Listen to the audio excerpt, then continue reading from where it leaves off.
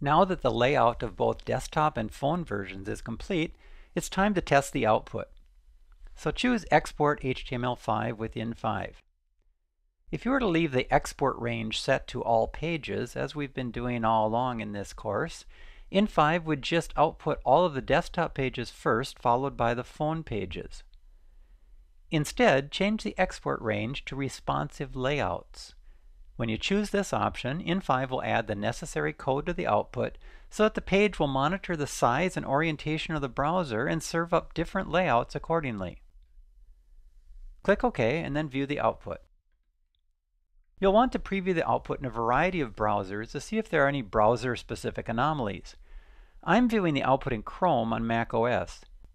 As I make the browser window narrower, note that the desktop layout is scaling smaller and smaller, and then when it gets real narrow, the layout automatically changes to the phone layout.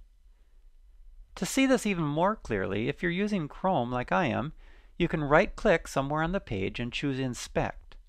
Then click the Device toolbar icon. In the device toolbar, you can choose different devices to simulate.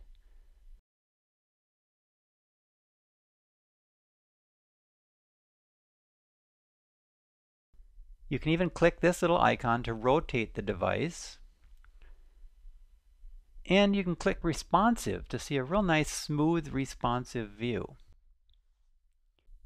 When combined with two or more layouts, In5's Responsive Layouts export feature works really well to make your layouts appear their best on screens of different sizes.